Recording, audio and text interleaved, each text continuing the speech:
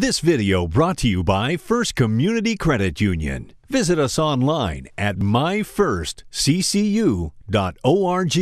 That's myfirstccu.org.